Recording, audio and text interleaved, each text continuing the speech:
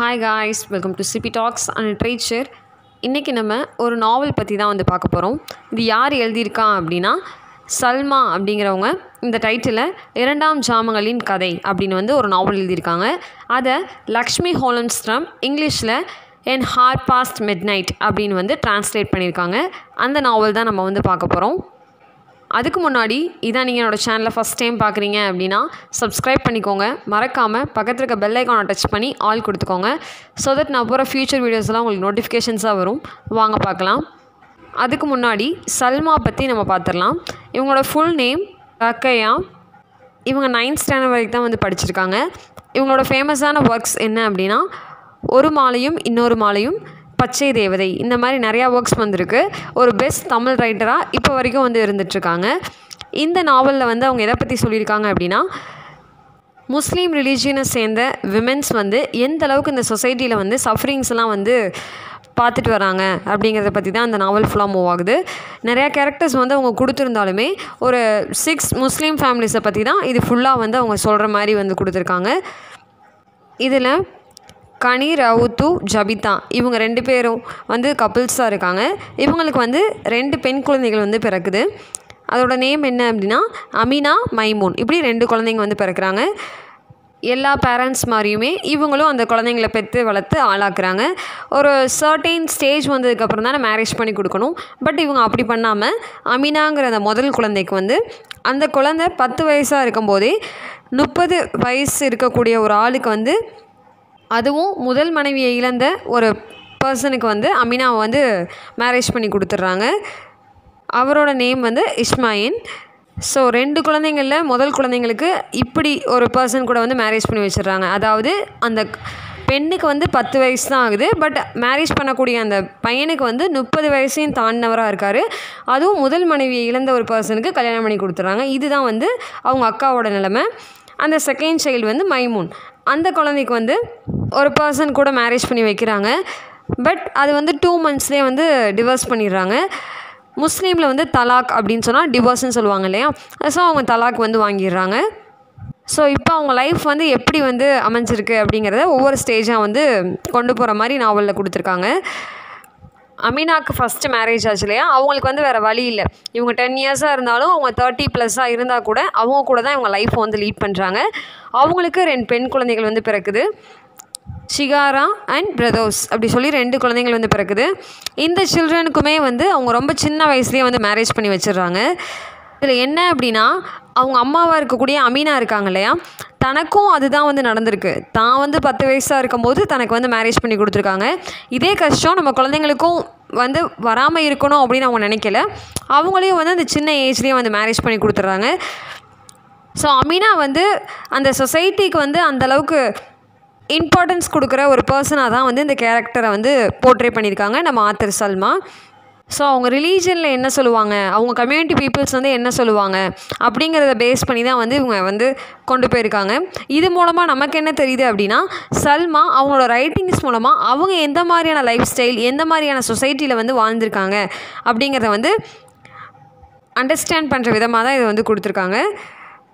And um, இந்த உமன்ஸை வந்து இந்த சொசைட்டியில் வந்து எப்படி வந்து ட்ரீட் பண்ணுறாங்க அது மூலமாக அவங்க லைஃப்ஸில் வந்து எந்த மாதிரி ப்ராப்ளம்ஸ் வருது அப்படிங்கிற மாதிரி தான் அந்த நாவல் வந்து மூவ் ஆகுது.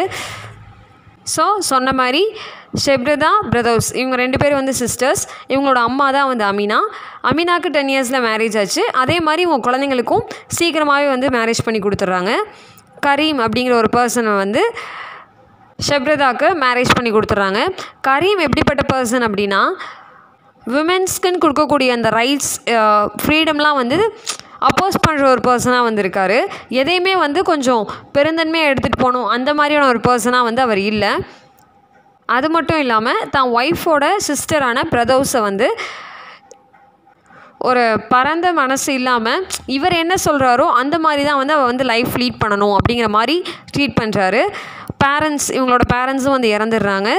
இப்போ பிரதோஸ்க்கு வந்து என்ன பண்ணுறதுன்னு வந்து தெரியாமல் தன்னோட அக்காவோட ஹஸ்பண்ட் ஹரி கரீம் சொல்கிற மாதிரியே அவங்க லைஃப்பை வந்து லீட் பண்ணுறாங்க அண்ட் கரீம் வந்து அவளோட மேரேஜ்க்கு ஒரு பர்சனை வந்து பார்த்து மேரேஜும் பண்ணி வச்சிடுறாங்க. அந்த மேரேஜ் வந்து அவளுக்கு பிடிக்கவே இல்லை.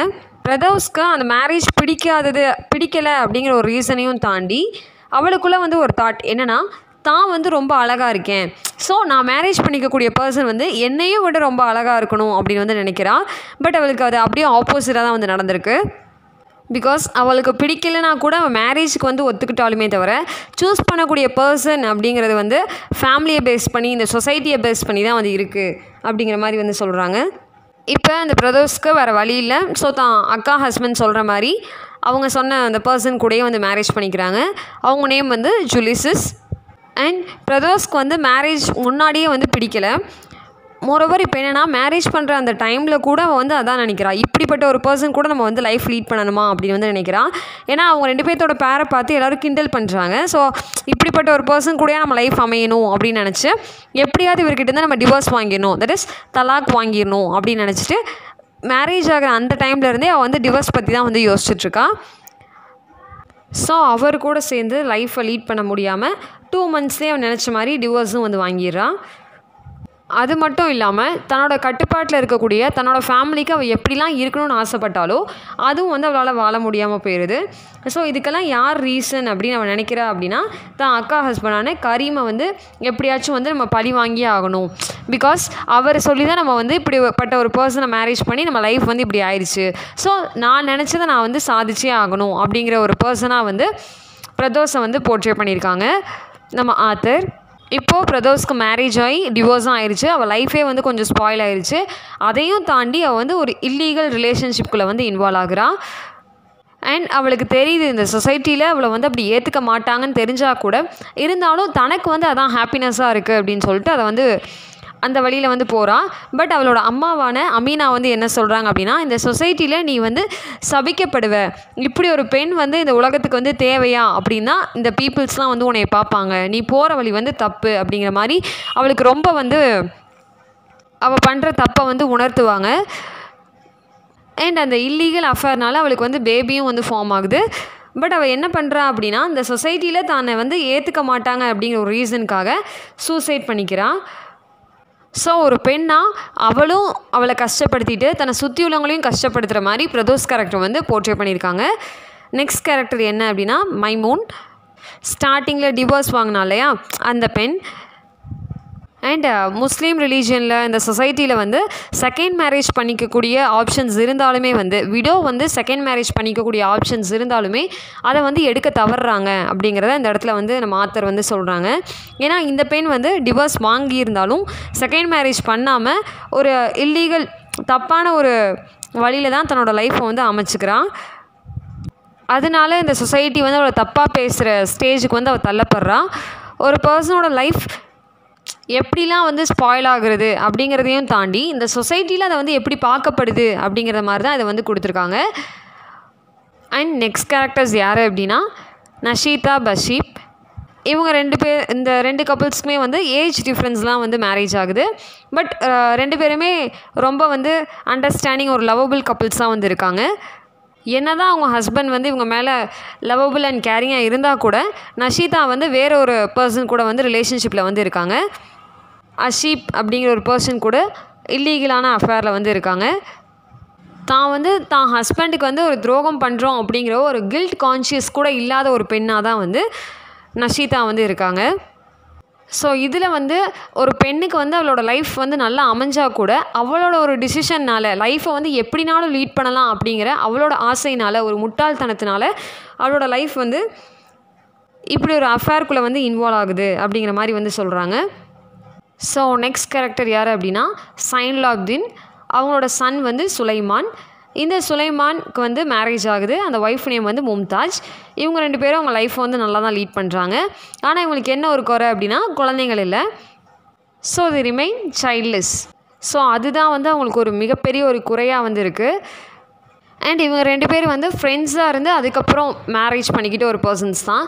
ஸோ இதில் வந்து நம்ம ஆத்தர் என்ன சொல்கிறாங்க அப்படின்னா எல்லா இடத்துலையுமே வந்து ஃப்ரெண்ட்ஸை வந்து லவ்வர்ஸாக வந்து அக்செப்ட் பண்ணிக்கிறது இல்லை.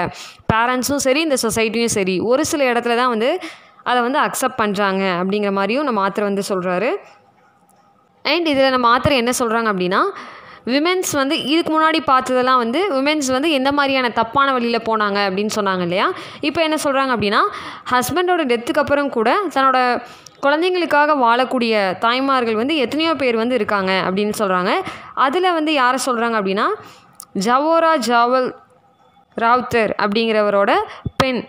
சரீஃபா அப்படின்னு வந்திருக்காங்க. அவங்க சலீம்ங்கிற ஒரு பர்சனை வந்து மேரேஜ் பண்ணுறாங்க அவங்களுக்கு யாஸ்மின் அப்படிங்கிற ஒரு கேர்ள் பேபி வந்து பார்ன் ஆகுது. சரீஃபா சலீம் யாஸ்மின். இவங்க மூணு பேரும் அவங்க லைஃப்பை வந்து ரொம்ப ஹாப்பியாக லீட் பண்ணிகிட்டு இருக்கும்போது திடீர்னு பார்த்தா சலீம் வந்து இறந்துடுறாரு. ஸோ ஹஸ்பண்ட் இறந்ததுக்கப்புறம் ரீமேரேஜ் பண்ணுற ஆப்ஷன் இருந்தால் கூட சரீஃபா அதை பண்ணிக்காமல் தன்னோட ஹஸ்பண்டோட நினப்பிலேயே வந்து தான் பிள்ளைக்காக வந்து வாழ்ந்துட்டுருக்காங்க ஸோ இதுதான் தன்னோட லைஃப் தாம். குழந்தைய பார்த்துக்கிறது தான் தன்னோட லைஃப் அப்படிங்கிறத இந்த பொண்ணு வந்து நல்லா தீர்மானம் பண்ணிக்கிறான் அண்ட் இவளுக்கு வந்து ஒரு தங்கச்சியும் இருக்குது அவளோட தங்கச்சிக்கு என்ன அப்படின்னா மேரேஜ் பண்ணிக்கிறதுக்கான தகுதியே இல்லாமல் வந்து போயிடுது ஸோ அவங்களும் வந்து தான் அக்காவையும் தான் அக்கா பிள்ளையும் வந்து பார்த்துக்கிறதா தன்னோட லைஃப்பை வந்து டிசைட் பண்ணிக்கிறாங்க. அண்ட் இவங்களுக்கு வந்து ஒரு தம்பியும் வந்திருக்கு ஆஷக் அப்படின்னு சொல்லி.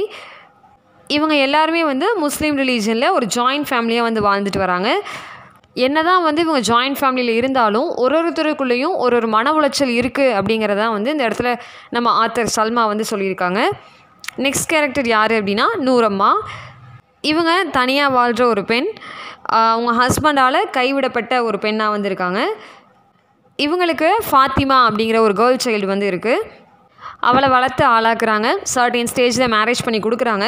மேரேஜ் பண்ணி கொடுக்கும்போது அவளோட ஹஸ்பண்ட் வந்து சிக்ஸ் மந்த்ஸ் இவ கூட வாழ்ந்துட்டு அதுக்கப்புறம் வந்து ஊரை விட்டு இவளையும் விட்டு பிரிஞ்சு போயிடுறாரு.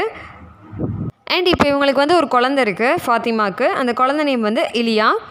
அந்த குழந்தை கூட தான் வந்து வாழ்ந்துட்டு வரா. பட் அவளுக்கு இந்த வாழ்க்கையில் ஒரு சலிப்பு வந்து வந்துடுது தன்னோட ஹஸ்பண்ட் தன்னை விட்டு வேறு ஊருக்கு போய் அதுவும் வேற ஒரு பொண்ணோட ஒரு லைஃப்பை லீட் பண்ணும்போது நான் மட்டும் ஏன் இங்கே இருக்கணும்? மற்றவங்களுக்கு பயந்து இந்த சொசைட்டிக்கு பயந்து நான் மட்டும் ஏன் இப்படி இருக்கணும்? அப்படிங்கிற ஒரு தாட் வந்து அவளுக்குள்ளே வருது. நானும் எனக்கு பிடிச்ச மாதிரி என்னோடய வாழ்க்கையை வந்து அமைச்சிக்க கூடாதா? அப்படின்னு சொல்லி அவளும் வந்து ஒரு தப்பான டிசிஷன் வந்து எடுக்கிறா. என்ன பண்ணுறா அப்படின்னா முருகன் அப்படிங்கிற ஒரு பர்சன் கூட இல்லீகலான ரிலேஷன்ஷிப்பில் வந்து இன்வால்வ் ஆகுறா. மோரோவர் அவரே வந்து மேரேஜ் பண்ணிக்கலாம் அப்படிங்கிற முடிவும் வந்து அவ எடுக்கிறா. பட் என்ன பண்ணுறது இந்த சொசைட்டி வந்து அதை அக்செப்ட் பண்ணாது. ஆல்ரெடி மேரேஜான ஒரு பொண்ணு குழந்த இருக்குது இருந்தும் வேறு ஒருத்தவங்க கூட இல்லீகலான அஃபேரில் இருக்கிறா அப்படிங்கிறத அக்செப்ட் பண்ண மாட்டாங்க. அவங்க அம்மாவான நூறமாவும் அக்செப்ட் பண்ண மாட்டாங்க. அதனால் என்ன பண்ணுறா அப்படின்னா தான் குழந்தைய தான் அம்மா கிட்ட விட்டுட்டு ஃபாத்திமாவும் முருகனும் ஊரை விட்டு வந்து ஓடிடுறாங்க. அந்த ஃபாத்திமாவோட அம்மா நூறம்மாவுக்கு வந்து ரொம்பவே வந்து வருத்தமாக இருக்குது தான் பொண்ணோட வாழ்க்கை வந்து இப்படி ஆயிடுச்சே அப்படின்னு சொல்லி ரொம்ப வருத்தப்படுறாங்க. அண்ட் மோரோவர் என்ன ஆகுது அப்படின்னா ஒரு டூ இயர்ஸ் கழித்து ஒரு ஆக்சிடெண்ட்டில் ஃபாத்திமா வந்து இறந்துடுறாங்க. நூரமாக்கு இந்த தான் மகள் வந்து இறந்துட்டா அப்படிங்கிற ஒரு சம்பவம் செய்தி வந்து வருது. பட் அவங்க வந்து என்ன நினைக்கிறாங்க அப்படின்னா தான் பொண்ணு இறந்துட்டாங்கிறத தாண்டி அவளுக்கு வந்து அவள் பண்ண தப்புக்கு அல்லாஹ் வந்து தண்டனை கொடுத்துட்டாரு அப்படிங்கிற விதமாக தான் அதை வந்து பார்க்குறாங்க ஸோ இதில் வந்து நம்ம ஆத்தர் என்ன சொல்கிறாங்க அப்படின்னா தான் ஒரு பொண்ணு வந்து தன்னோட லைஃப்பை எப்படி லீட் பண்ணணும் அப்படிங்கிற சில வழிமுறைகள் வந்து இருக்குது அப்படி தான் வந்து லீட் பண்ணணும். அதையும் தாண்டி அவளோட ஹாப்பினஸ் தான் இம்பார்ட்டன்ட் அப்படின்னு சொல்லி வெளியே போகிறா பட் அவன் நினச்ச மாதிரி அந்த வாழ்க்கையும் வாழ முடியாமல் அவன் வந்து கடைசியில் இறந்துடுறா அப்படிங்கிற மாதிரி தான் வந்து சொல்லியிருக்காங்க. ஸோ இதில் வந்து மைமூன் பிரதோஸ் ஃபாத்திமா இவங்கெல்லாம் வந்து தன்னோட ஹாப்பினஸ் தான் முக்கியம் அப்படின்னு சொல்லி இந்த வாழ்க்கை நெறிகளையே வந்து தாண்டி போனதுனால அவங்க வந்து ஹாப்பினஸ் அவங்க நினச்ச மாதிரி அடைஞ்சாங்களா அப்படின்னா இல்லை. அது வந்து அவங்க லைஃப்பில் வந்து ஸ்பாயில் பண்ணக்கூடிய ஒரு விஷயமா தான் இருக்குது அப்படிங்கிறத சல்மா வந்து சொல்லியிருக்காங்க. அண்ட் நெக்ஸ்ட் இதில் என்ன சொல்கிறாங்க அப்படின்னா குழந்தை இல்லை அப்படிங்கிறது ஒரு ப்ராப்ளமாக இருந்தால் கூட அதிக குழந்தை இருக்குது அப்படிங்கிறதும் இந்த இடத்துல வந்து முக்கியமான ஒரு விஷயமாக வந்து சொல்லியிருக்காங்க. இதில் பார்த்தோன்னா சைத்தூன் அப்படிங்கிற ஒரு பெண்ணை வந்து கொடுக்குறாங்க. இவங்க என்னென்னா தன்னோட ஹஸ்பண்டை வந்து எதிர்த்து பேச முடியாமல் குழந்தைகளை வந்து வருஷத்துக்கு ஒன்றுனா வந்து பாண்ட் பண்ணிக்கிட்டே இருக்காங்களாம். அவங்களுக்கே வந்து இது ரொம்ப வெறுப்படைஞ்ச ஒரு விஷயமா வந்து மாறிடுது. அவங்க ஃப்ரெண்டு வந்து இருக்காங்க. சைத்தனோட ஃப்ரெண்டு வந்து கேட்குறாங்க என்னம்மா இப்படி வருஷத்துக்கு வந்து ஒரு குழந்தையா வந்து பெற்றுட்டே இருக்கியே உன் ஹெல்த் என்ன ஆகுறது? அப்படிங்கிற மாதிரி கேட்கும்போது அந்த பெண் வந்து ரொம்ப சளிப்படைஞ்சு சொல்கிறாங்களாம் என்னோடய ஹஸ்பண்டை வந்து என்னால் எதிர்த்து பேச முடியல. சரி பரவாயில்ல. என்னால் முடிஞ்ச வரைக்கும் நான் வந்து பெற்று போடுறேன் அப்படிங்கிற மாதிரி வந்து சொல்கிறாங்க அப்போ அவங்களோட நிலை வந்து என்ன மாதிரியான ஸ்டேஜில் வந்து அவங்க இருக்காங்க அப்படிங்கிறத வந்து நம்ம ஆத்தர் வந்து சொல்லியிருக்காங்க. மோரோவர் இது வந்து சொசைட்டியில் இல்லை ஒரு ரிலீஜனில் வந்து இது எப்படி பார்க்குறாங்க அப்படின்னா ஒரு பேபி பாண்ட் பண்ணுறது அப்படிங்கிறது வந்து காட்ஸ் கிஃப்ட் அது வந்து எல்லா பெண்ணுக்கும் வந்து கடவுள் கொடுக்குறாரா அப்படின்னா அது வந்து இல்லை. ஸோ அது கிடைக்கும்போது அதை ஏன் நம்ம வந்து யூட்டிலைஸ் பண்ணிக்கக்கூடாது அப்படிங்கிற மாதிரி தான் அந்த சொசைட்டி வந்து பார்க்குது. ஸோ மேலோட டாமினன்ஸ் வந்து அதிகமாக இருக்குது அப்படிங்கிறத வந்து இந்த ஆத்தர் வந்து சொல்லியிருக்காங்க. அவளோட ஃபீலிங்ஸ்க்கு வந்து ஒரு ஒய்ஃபோட ஃபீலிங்ஸ்க்கு வந்து எமோஷன்ஸ்க்கு அவர் ரெஸ்பெக்ட் கொடுத்துருந்தாரு அப்படின்னா இந்த பொண்ணு வந்து இவ்வளோ சலுப்படைஞ்சிருக்க மாட்டாங்க அப்படிங்கிறத வந்து சொல்கிறாங்க ஸோ சிக்ஸ் சைல்டு வந்து பான் பண்ணிட்டான் செவன்த் சைல்டு வந்து அவள் ப்ரெக்னெண்ட்டாக இருக்கும்போது தான் அவள் ஃப்ரெண்டு வந்து இந்த மாதிரி கொஷின்ஸ் வந்து கேட்குறாங்க ஸோ குழந்தை இல்லை அப்படிங்கிறது ஒரு ரீசனாக ஒரு கஷ்டமாக ஒரு விமனுக்கு இருந்தால் கூட அதிகமான குழந்தை இருக்கிறதும் வந்து ஒரு சஃபரிங்காக தான் இருக்குது மொரோவர் அதையுமே வந்து வேணாம் அப்படின்னு சொல்லக்கூடிய ஸ்டேஜில் தான் வந்து விமென்ஸ் வந்து இருக்காங்க. அப்படிங்கிற மாதிரி நம்ம ஆத்தர் வந்து சொல்லியிருக்காரு. ஸோ ஒரு ஃபேமிலியில் வந்து ஹஸ்பண்ட் அண்ட் ஒய்ஃப்குள்ளே ஒரு நல்ல ரிலேஷன்ஷிப் இருக்கணும். அப்போ தான் வந்து அந்த ஃபேமிலி வந்து நல்லபடியாக லீட் பண்ணிட்டு போக முடியும் அப்படின்னு வந்து சொல்கிறாங்க அண்ட் இதில் அகெயின் யார் கேரக்டரை கொண்டு வராங்க அப்படின்னா கரீம். ஸ்டார்டிங்கில் பார்த்தோம் இல்லையா? அவர் வந்து சொல்கிறாங்க அவரோட டாமினன்ஸ்னால தான் வந்து யாருக்கு பிரதோஸ்க்கு வந்து மேரேஜ் பண்ணி கொடுத்தாங்க. பட் அதுவுமே வந்து அவளுக்கு பிடிக்காத ஒரு கல்யாணத்தை பண்ணி கொடுத்ததுனால தான் அவள் லைஃப் வந்து இப்படி ஸ்பாயில் ஆயிடுச்சு மொரவர் அவளுக்கு மரியாதை கொடுத்து அவளோட எமோஷன் ஃபீலிங்ஸ்க்கு மரியாதை கொடுத்து அவள் நினச்ச மாதிரி ஒரு ஹஸ்பண்ட் அவளுக்கு தேர்ந்தெடுத்து கொடுத்துருந்தா அவள் லைஃப் வந்து நல்லபடியாக லீட் பண்ணிட்டு போயிருக்கலாம் அப்படிங்கிற மாதிரி வந்து சொல்கிறாங்க டிவோர்ஸும் ஆயிருக்காது அப்படின்னு சொல்கிறாங்க அந்த இடத்துல கரீமோட டாமினன்ஸ் வந்து அதிகமாக இருக்குது அப்படிங்கிறத சொல்கிறதுக்காக இதை வந்து சொல்கிறாங்க அண்ட் அவரும் அவரோட ஒய்ஃப் கூட நல்லா வந்து லைஃப்பை லீட் பண்ணலை. அவரும் மாரியாயி அப்படிங்கிற ஒரு பெண்ணோட ஒரு அஃபேரில் தான் வந்து இருந்திருக்காரு. ஈவன் அந்த பெண்ணு கூட அஃபேரில் இருந்தாலும் அவங்களையும் ரொம்ப கஷ்டப்படுத்திட்டு தான் வந்து இருந்திருக்காரு அப்படிங்கிற மாதிரி கொடுத்துருக்காங்க. தான் வந்து ரொம்ப செல்ஃபிஷான ஒரு பர்சனாக வந்து இருந்திருக்காரு.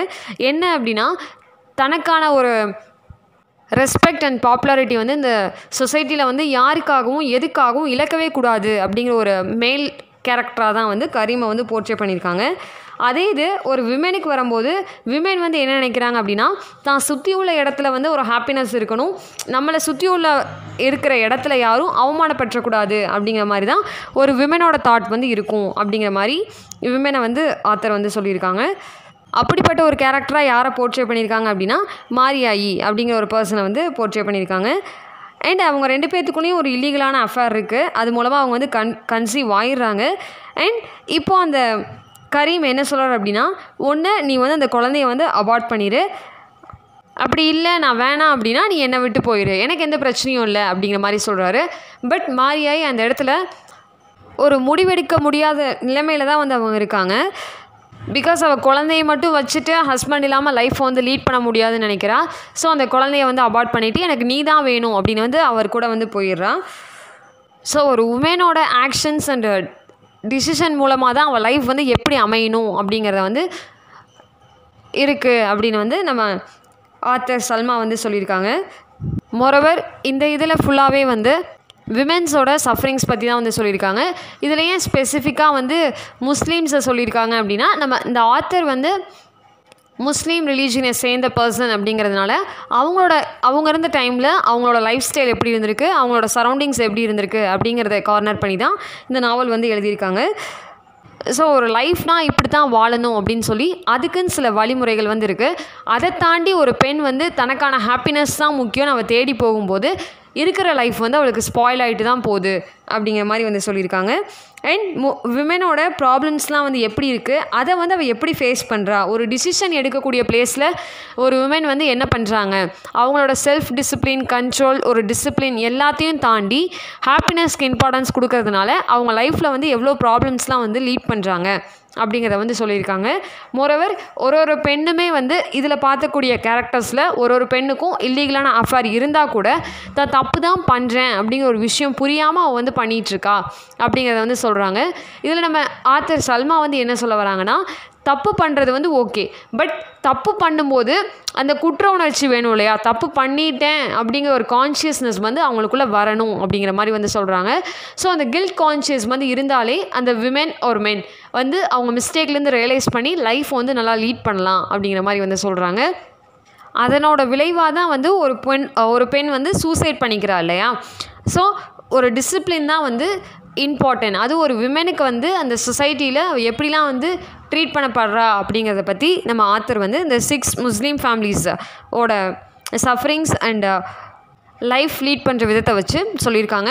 ஐ ஹோப் இது உங்களுக்கு பிடிச்சிருக்கும் புரிஞ்சிருக்கும் நம்புகிறேன் அப்படி இருந்ததுன்னா லைக் பண்ணுங்கள் ஷேர் பண்ணுங்கள் மறக்காமல் சேனலை சப்ஸ்கிரைப் பண்ணுங்கள் see on next video thanks for வாட்சிங்